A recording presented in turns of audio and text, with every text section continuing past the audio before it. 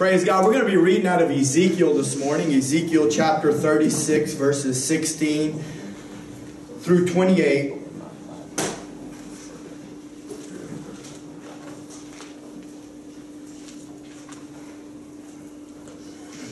Starting in verse 16, it says, Moreover, the word of the Lord came unto me, saying, Son of man, when the house of Israel dwelt in their own land, they defiled it by their own way and by their doings. Their way was before me as the uncleanness of a removed woman. Now, I don't mean to get PG 13 on you, but that's the Bible, and I'm preaching the Bible this morning. And so I just want to give a little bit of an explanation there. In the Old Testament, in the Levitical law, when a woman was on her menstrual cycle, she was considered to be unclean. But not only that, just about everything that she touched. And I'm not, this, that, this is a symbol and a type of what was to come. And so the, the word of God, just like leaven or yeast was a sign of sin, leprosy was a sign of sin. In the Old Testament law, this was a sign of uncleanness. Okay, it's not to, it doesn't have the same connotation today that it did then. It was a spiritual connotation. And everything that she touched was unclean for a period of time.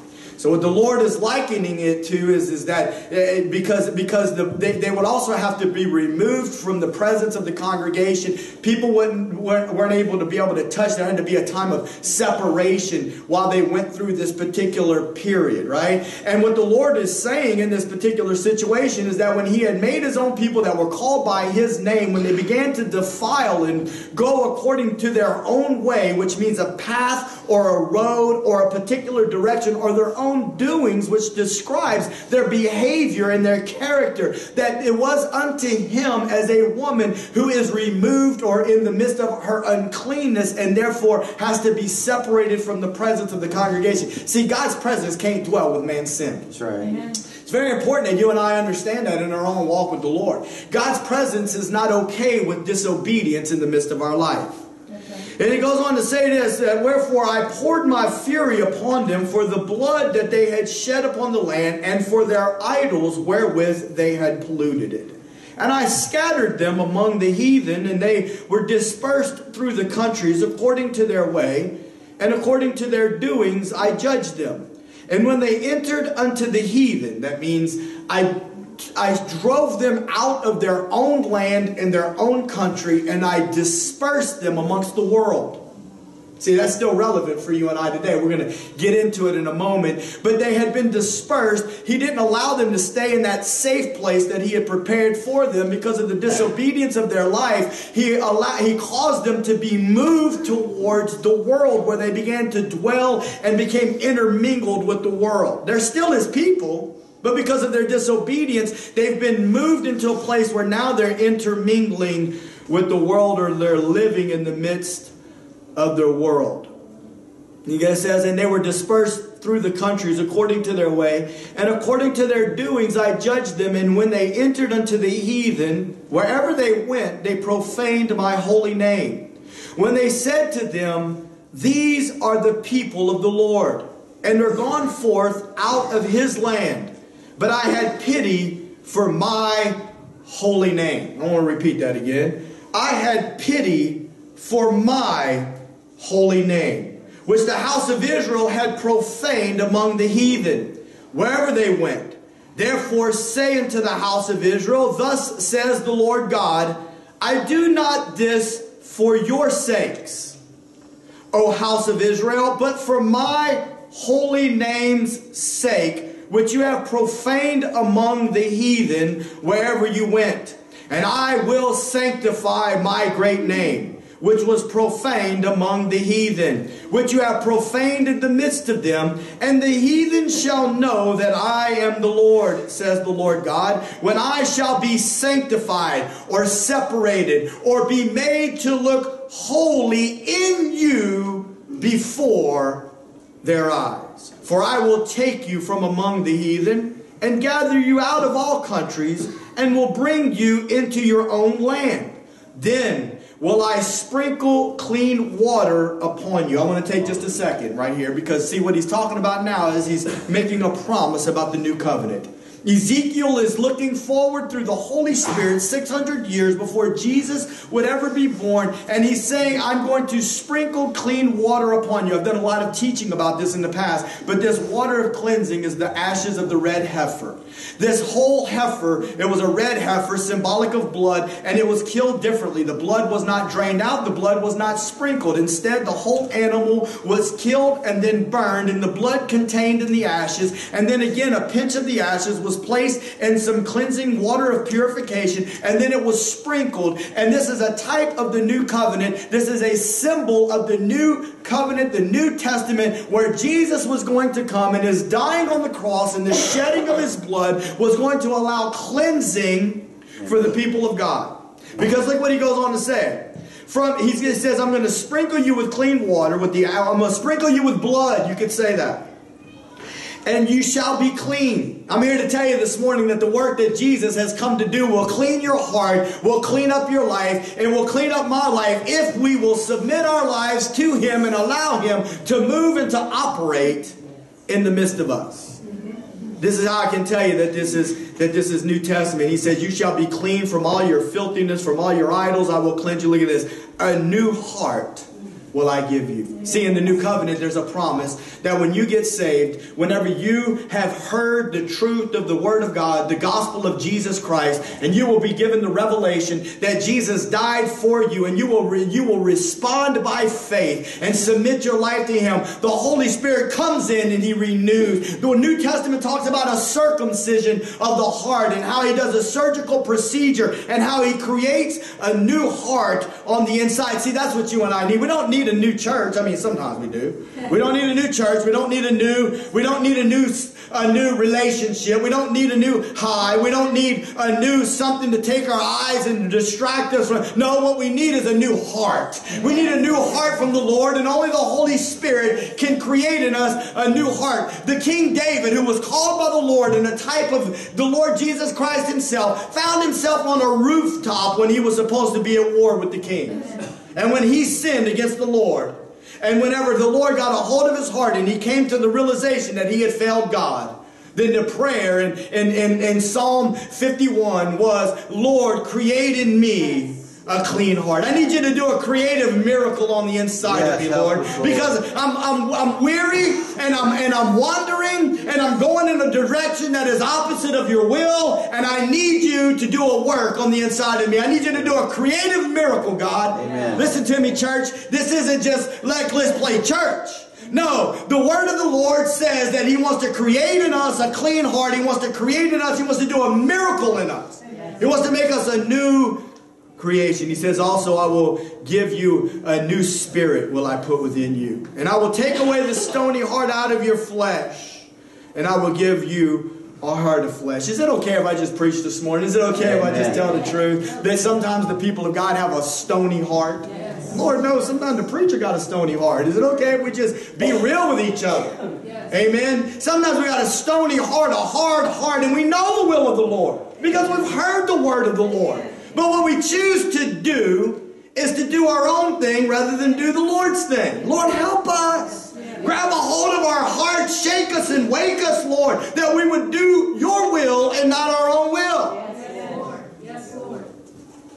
He says, I will put my spirit within you and cause you to walk in my statutes, and you shall keep my judgments. I got good news for you, church the new covenant and the message of the cross or the message of his sacrifice or Jesus Christ and him crucified, whatever your flavor of calling it is, the new covenant says that it's a completed work. Listen to me. Jesus said it is finished when he gave up the spirit. What that means is that not only did he forgive us of our sin, but he broke the back of the power of sin in our life. It's our job to begin to know the word of God. Number one, if you don't know the word of God, you can't believe in the word of God.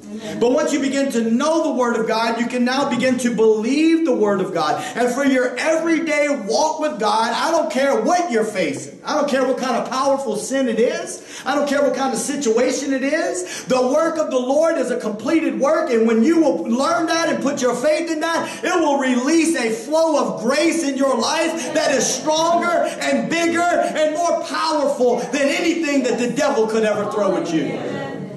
He said, I will cause you to walk according to my statutes. But I've been trying, Lord. I've been trying to walk for you. I've been trying to live for you. I've been trying to, that's the problem. You're trying in your own strength.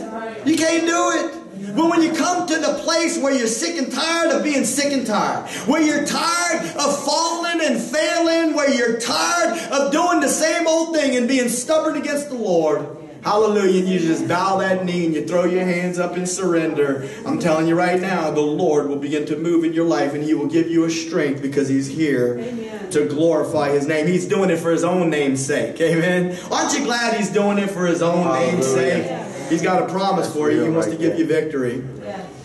He says, You will keep my judgments and do them, and you shall dwell in the land that I gave to your fathers, and you shall be my people, and I will be your God. Amen.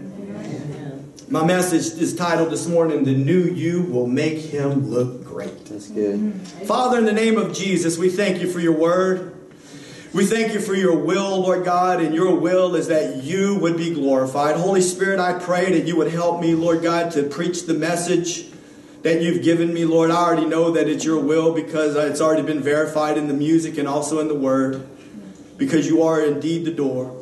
You are indeed the door that opens the eyes, Lord, that we might be able to see. And I pray, Lord God, that you would go forth, that you would anoint your word that it would reach deep down inside the hearts of your people, and that you would speak to your own people that are called by your name, that you would let them hear what you desire to say to each and every one of them, Lord God, and that you would use me as a vessel, Lord, as imperfect as I am, marred clay that I am, Lord God. You've chosen the foolishness of preaching to confound the wise.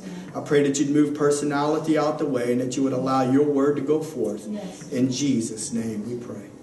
At this point in the passage, you know, Israel is God's people, but once again, they had chosen to rebel and live a life of sin that had resulted in their deportation to Babylon, another country, their enemy. The text states that their ways and doings, in other words, their character and actions, profaned God's name because the way they behaved contradicted the character of God. And when people viewed them, they were getting a picture of the God they claimed they serve. So, in other words, when your character, my character, and our doings, our behavior is contrary to the character or the Word of God, when people are looking at you, what they're seeing is, oh, okay, so this is what God looks like. Or this is what the people of God look like. I'm being real with you. Come on, somebody. The preacher, I've already said it. I'm not going to keep saying it. Just get it in your head. The preacher knows he ain't perfect. The preacher knows that he needs this message just as much for himself as what you need it. So don't let the don't let the enemy of your soul, as this message goes forward, because it's going it, it, it, don't get no better than this. What I'm saying is, if anything, it's just going to get a little bit rougher as we move on because it's the word of the Lord. I didn't I didn't write it. God wrote it right here. Amen. But don't let the enemy lie to your spirit, man. Don't let the enemy lie to you and tell you, oh, that that this isn't God, that this doesn't feel right. No, what I'm here to tell you is that this feels exactly right because this is the word word of the Lord. And the enemy will try to whisper in your ear and he will try to tell you, I don't like the way this makes me feel. But I'm here to tell you, there's nothing better than the feeling of the Lord when we respond to the truth of the gospel and the freedom and the liberty that it produces on the inside of our life. Amen. No, see, they used to, the people knew them from their past. The people that knew they used to serve the Lord because remember, even after they were moved out of the land, they still profaned his name where they were. You know, I imagine for the child of God, and I ain't here to pick on nobody, but I'm just saying, I imagine for the child of God, whenever this is the this is the context for you and I today. It's relevant for your life today. That you are the child of God. Israel, whenever he created them through Abraham, and he finally brought them into the promised land. But then they allowed idols and pollution to come into their life. And they defiled the land. And what happened? He dispersed them outside of the land. That's like the child of God that has tasted and seen that the Lord is good, and then he's gone out into the world on his little journey out there, right? Her little journey. And, and now that they're now that they're out there, but it ain't like nobody didn't know because whenever you were serving the Lord, you used to speak for the Lord, right? You used to let people know that you were a Christian. This ain't here to beat you up. I'm just here to tell the truth. And that even now, now that we're out there in the world, they remembered, and they, and it's still profaning the name of the Lord because we used to live for God, but now we're not living for God. And, and, listen, we can't just brush that under. It's a very important thing. It's a very reverential thing that we recognize the importance of the Word of God and the character of God. Now, we can't do it in our own strength, church. Yeah, Ain't not one of us in this room that can do it in our own strength. We need the grace of God flowing in our life and strengthening us. If we're going to bring, if God's going to manifest His presence in our life and bring glory to His name, it's only going to be because we surrendered to the message of Calvary and that we allowed the Holy Spirit to infill us and to strengthen us and to produce in us the fruit that the Holy Spirit was to produce. That's what the word means, though profane. It means to wound or pollute. The people of God sometimes wound and pollute the name of the Lord. We've all done it. Even whenever we're not straight up backslidden, sometimes the decisions that we make and the way that we act and the things that we say wound. Come on, somebody, help me out here. We wound and pollute the name of our God. God's not willing to leave his people in this condition. Where they bring shame on his name. If you ever find yourself in a church, or a spiritual atmosphere that leaves you feeling comfortable with where you are and there hasn't been any true repentance or heartbreak over sin or a coming to the realization and desperation that if God doesn't change me, I won't make it, then you're not in the right place. Preach. Find yourself a preacher that will tell you the truth. Hallelujah. The truth is that God promises to do a work, give a gift of grace or power so that his people, I'm talking about those that want to live for him, even if it's just a tiny little whimper on the inside of your heart when you're lying in your bed at night and you know that you're far from the Lord and you've cried out. Amen. And you might have your ear, your eyes might have even welled up with tears. But the real part to your heart is saying, Lord, I know I'm not right and I want to be right. Even if it's just a little whimper and it's a whole lot smaller than all the disobedience in your life. God sees it and he knows that you want to live for him and that makes you his child. Amen. Hallelujah. He will be, they will be given strength so that they can. So that they can live for him, so that they can represent him. He explains that his purpose is so that the damage to his name can be repaired. When a sinner gets saved and allows God to change him, or when a believer truly yields to the will and spirit of God, the change in the life becomes manifest Amen. for all to see. Amen. Hallelujah. When we're, how'd the song go? Whenever we're walking around, well, I know I'm doing a horrible job, but when we're walking around with our hands raised in the air and the world wonders why, because we're here to give you glory, Lord. We're just here to worship you. Amen. We want our life to ring true of the gospel of Jesus Christ. Listen, this all starts with repentance. Yes. Repentance opens the eyes. I was reading in one of my devotionals from, from Oswald Chambers the other day, and I kind of paraphrased it a little bit, but this is basically what he said. Repentance isn't the ransom that persuades God to forgive sin. Repentance is not the ransom. See, there was a ransom that was paid, but repentance isn't the ransom. Repentance is the door that's why I knew I changed that word. He said avenue. I put the word door right there. I'm giving Oswald Chambers his due. It's his it's his daily devotion. But I wanted to use the word door. And now the Lord revealed to me through the word that he's talking about a door this morning. The repentance is the door whereby God enables us to see that our sinful condition is hopeless unless God does a remarkable work of grace and redemption in our lives. John's baptism was a baptism of repentance. You don't have to turn there, but in John 1 30 and 31, the scripture tells us that John's baptism was a baptism of repentance, and he came preaching the gospel in the wilderness, and he became doing a baptism of repentance. Why? So that all should be made, so that Jesus should be made manifest to Israel.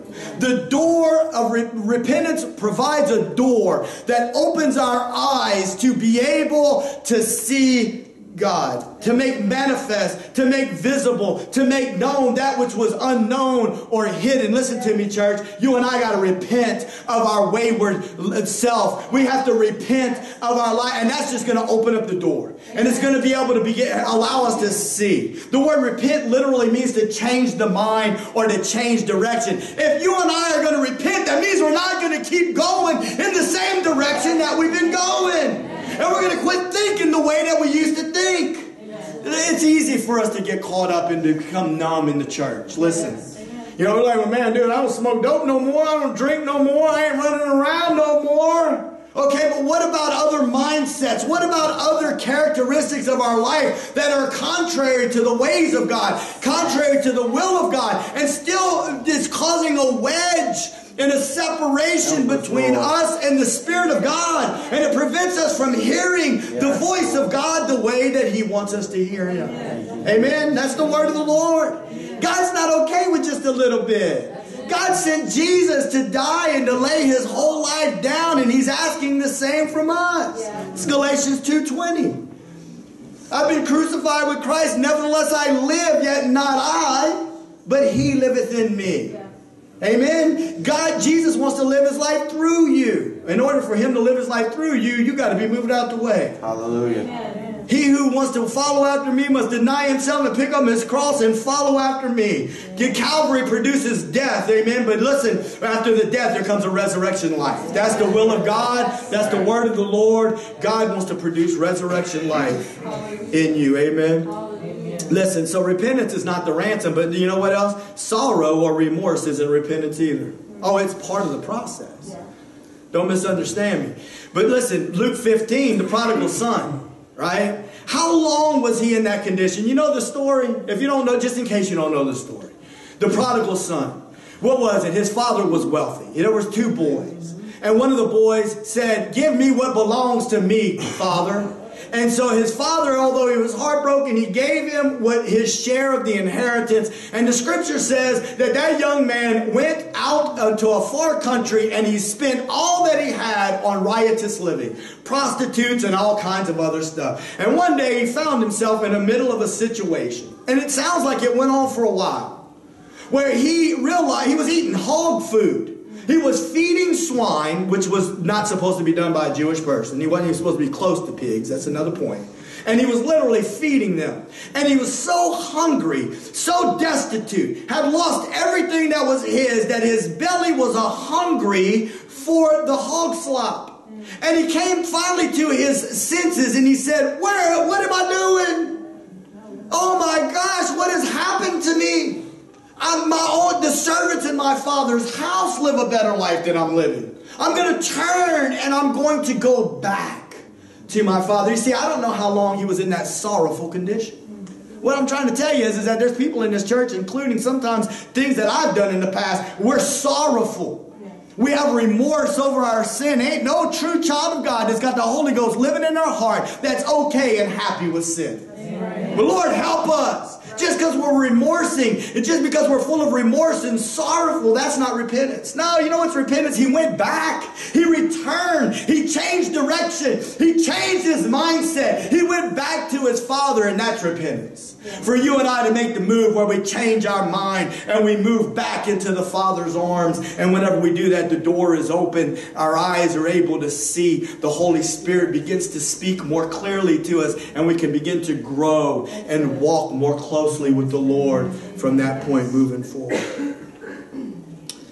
Sometimes we think we've returned because we're going to church more or we're witnessing. But have we really returned to the Lord?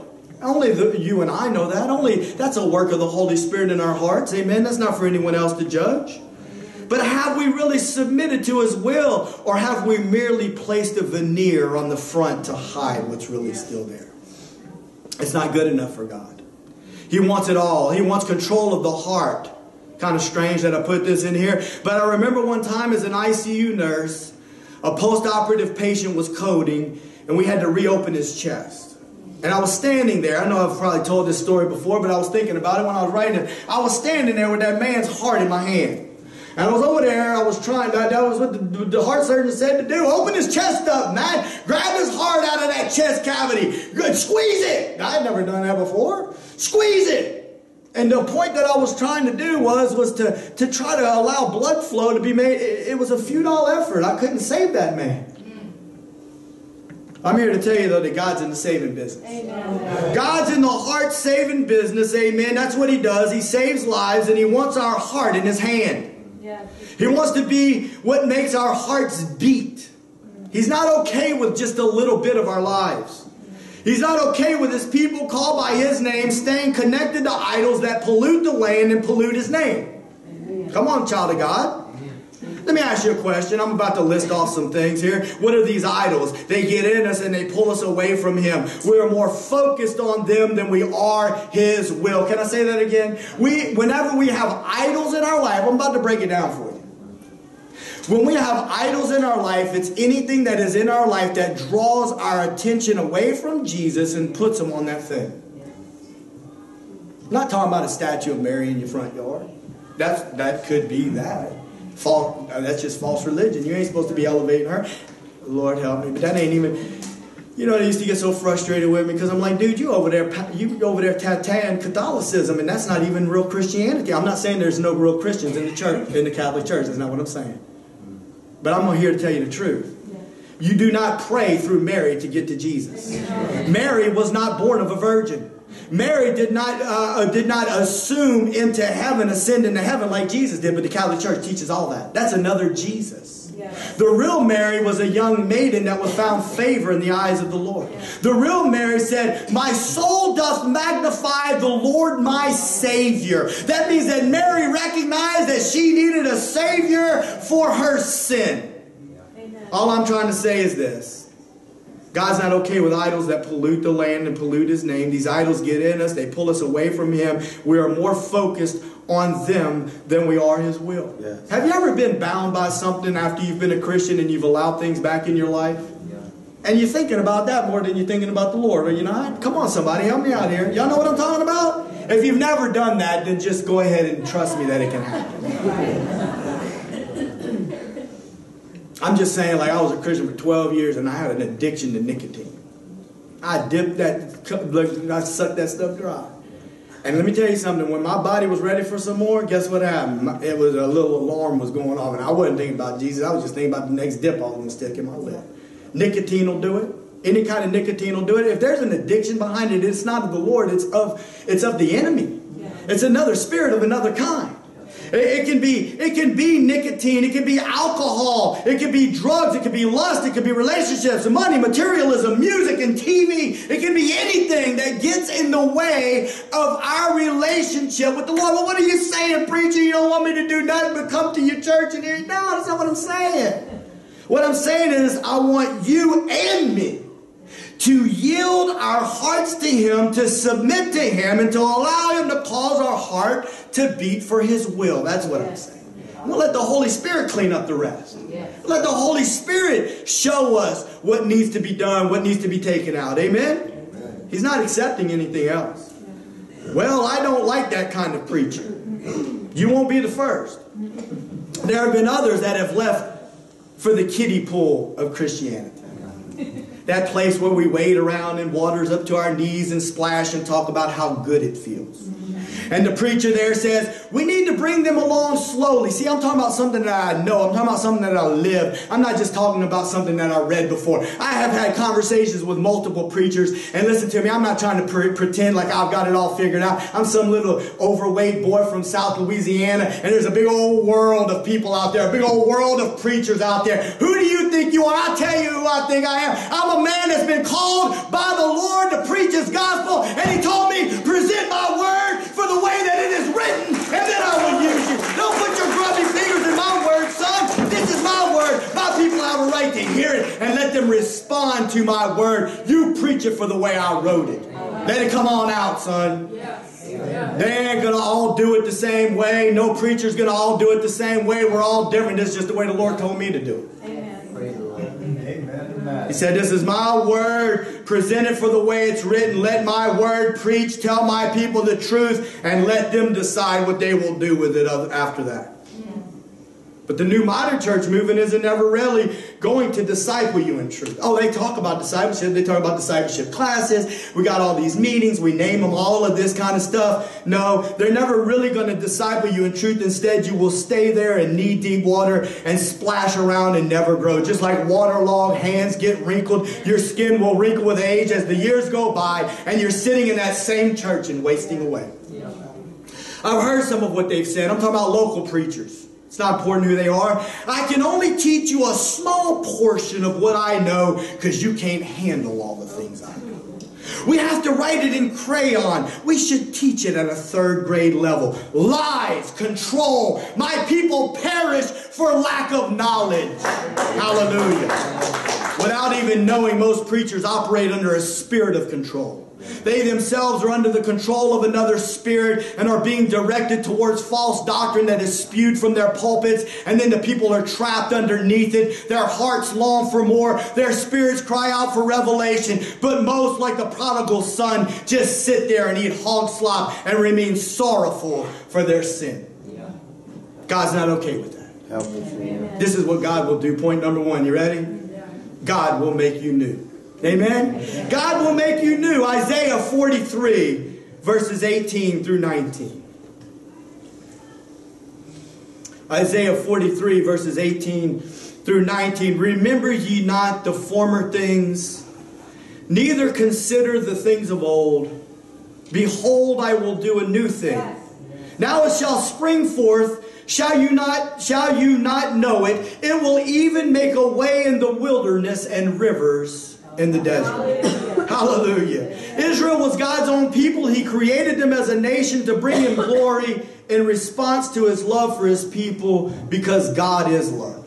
He had promised them in Deuteronomy chapter 28 You obey me, there's a blessing. You disobey me, there's a curse. Instead, they rebelled and were disobedient. Also, the and, and, and because they did the latter, there came a curse on their life. In this passage, Israel for many years had chosen the latter, and the hand of God latter. And the hand of God had been against them, and in their weakness, their enemy had overcome them, and in their enemy's triumph, they were in bondage. But God will never quit on his plan for his people. And in this Isaiah passage, he promises to do a new thing. He instructs them not to focus on the past and the path that had gotten them where they were. Rather, behold, look, and expect a new thing is coming. The context isn't here a new thing for your flesh. As though he's here to bless something of you external. Let me say it again. The context here isn't a new thing for you externally. No, the context here is I'm going to do a new thing in you. I'm going to do a new thing on the inside of you. It's like the new covenant. It's like Jesus and the Holy Ghost springing up on the inside of you.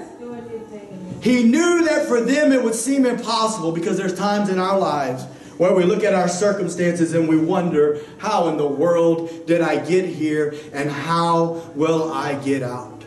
When God does it, it's like a spring that flows from the earth and brings refreshing life. There are times when we will feel spiritually dehydrated. Have you ever felt dehydrated before? I was a little bit nervous when I went to go get some water and we didn't have any water this morning. Sometimes, like all of a sudden, it hits me. Like I didn't even realize it, but all of a sudden I started to feel dehydrated. You ever felt that way? You get weak, almost weak in your knees. You know? And, and, and, and it's like if I don't get some water on the inside of me quick, but then once I drink it, I'll guzzle it down. Sometimes you see me, I'll down two bottles of water. And then all of a sudden, slowly but surely, my veins fill up and I can feel it at the cellular level. Everything's starting to get itself right again. Spiritually, sometimes we find ourselves dehydrated, weakened. And we know that if we don't get we don't get to the water, of living water quickly, amen, and be strengthened again, we're, we're not going to make it. That's what it feels like, right? Spiritually, when God does a new thing in our lives, it feels like a refreshing spring of water. Acts chapter 3, verse 19. Look what it says. Repent ye therefore and be converted. Turn your ways, that your sins may be blotted out when the times of refreshing shall come from the presence of the Lord. A cooling, refreshing, a revival. I need a revival in my heart. John 7, 38 and 39. He that believes on me, as the scripture has said, out of his belly shall flow rivers of living water. But this he spoke of the Spirit, which they that believe on him should receive, for the Holy Ghost has not, was not yet given, because Jesus had not yet been glorified. See, lately the Lord's been kind of showing me this. The Lord's been showing me this about my own personal life and about the lives of believers. That when we get saved, the Holy Spirit is like a river of living water on the inside of us. You remember that day when you got saved, or you remember times in your in your walk when you felt the freshness of God? Every oh, last person in here, if you've ever been saved, there's at least a moment in your life where you felt the freshness of God bubbling up like a spring of living. I remember one time when I was a teen, my mama sent me to my uncle Nicky's house for a summer because I was being bad. I was about 12, 13 years old. I can't handle the boy. Take him. All right. So I go over there. I remember one day they said, where, where are we going, Uncle Nicky? Oh, we're going to a place called Magnolia Springs. I remember I jumped out of that boat into that water, man, and I could feel that cold water coming up. And I, you know, I just think about that, that, that, that the presence of the Lord is like a living water that's just bubbling up on the inside of us. But you know what the Lord's been showing me about my own personal life? What happens though is this, is that you start compromising. You open up a door and you allow a little bit of sin here, a little bit of sin there, a little bit of sin there. And you know what you're doing? You're letting the devil take shovels of dirt throwing it up on your springs of living water. And he's just over there clogging all that stuff up and it's not bubbling up and gushing up the way that it used to be. And that's what those choices of sin bring. And when we do it, once again, it prevents the gushing. But listen to me, if we will turn to him, he promises to do something new. He promises to bring life. 2 Corinthians 5 17 and 18. It says, Therefore, if any man be in Christ, he is a new creature. Old things are passed away. Behold, all things are become new. That was point number one. God will make a new you. Amen. God will make you new. Point number two. The new you came at a price. We only got two points this morning. The new you came at a price. I want you to get that in your head. I one day need to remind myself of that. The name of the Lord needs to be glorified in the land. It was a high price so that all this could be done. Let's look at Leviticus 16, verses 5 through 10. This is Old Testament. This is Israel when they're about to enter into the promised land after the Exodus, after the Red Sea was parted, and God's giving them instruction on how to worship Him. It says in verse 5, and he said, He shall take of the congregation, talking about the priest, he shall take of the congregation of the children of Israel two kids of the goats. That means two baby goats. Or two young goats. For a sin offering, and one ram for a burnt offering. And Aaron shall offer his bullock of the sin offering, which is for himself, and make an atonement for himself and for his house. And he shall take the two goats and present them before the Lord at the door of the tabernacle of the congregation.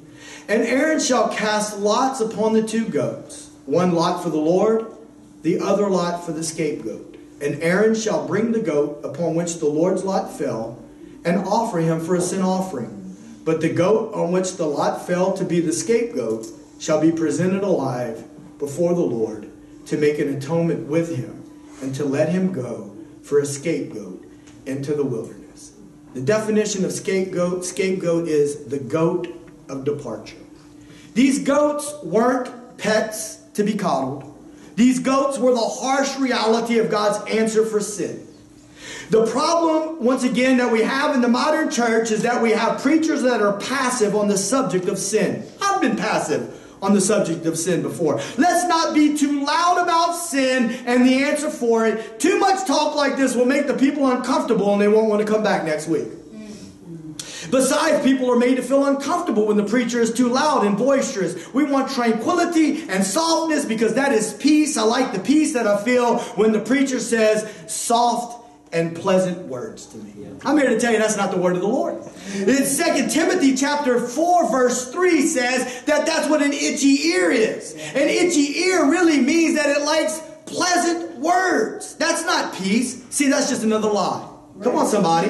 When you flip through the channels and you watch that preacher that's not really even preaching the gospel, I hope you can tell the difference. I'm not going to sit here today and list off a whole bunch of names. I've done it before. I'll do it again if the Lord leads me. But I don't know that it's necessary. Some of these people aren't even really, truly allowing the word of the Lord to go forth. Instead, what they're doing is a motivational speech. They're picking all kind of uh, scriptures and they're never going to speak a challenging word to try to challenge you and I or to try to wake us up and make us think that maybe we're not okay with the Lord. Instead, it's just a bunch of pleasant words that make us feel good. Listen to me. That's not the way the word of the Lord is written. The word of the Lord challenges you and I to get our hearts right with Him. And yes, whenever we do that, there's springs of refreshing water to come in. Hallelujah.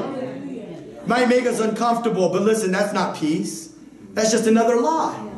Soft little pleasant words. I'm not saying everybody's got to be a loud preacher. That's not what I'm saying. But listen to me, it's just like another pain pill. It's like the lie of religion. It's another spirit behind false doctrine that, that, that woos you to sleep. It's like another pain pill or another drink or another affair or another whatever made you feel good for a minute and made you forget your problems momentarily. Mm. And then whenever you walk out and you're faced with the situation again, there it is all over again. Let the truth be cried so that people can hear. Give God's people the opportunity to be uncomfortable with sin so that they may repent and their eyes be open in which way to go. Amen. Don't tell me that it's against the word of the Lord for a preacher to preach the gospel boy and with boisterous being boisterous. That's not true. I'm going to give you a scripture right here. Here it is, John chapter 1, verse 15. Uh, you know, maybe you feel like I'm over here trying to, to, to, to, make myself feel better. I'm just here to tell you, I've had people blast me on Facebook. I didn't make myself this way. God made me this way. I'm going to preach it the way He told me to preach it. I ain't going back to that church. The preacher was yelling. I ain't no preacher yelling at you, man. If anything, the preacher's yelling at the devil. He's not yelling at you. Don't let the devil lie to you.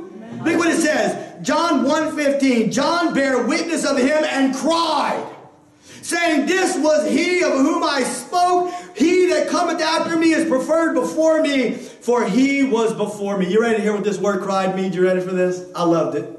It just it just emboldened me. I'm like, Lord, make me louder today. Can't just personally, purposefully preach loud just to get a point across. But look, this is what it means. Cried. To cry out. Look at this. The croak and the cry of a raven to cry out aloud.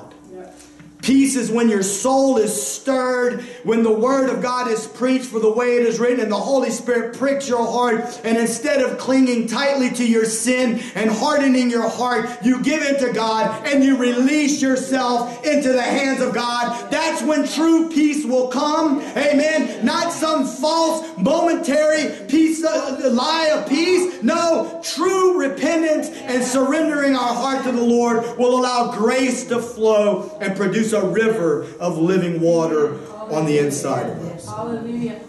We're talking about goats. We're talking about the scapegoat and the goat of sacrifice. And there's a difference between a goat and a sheep.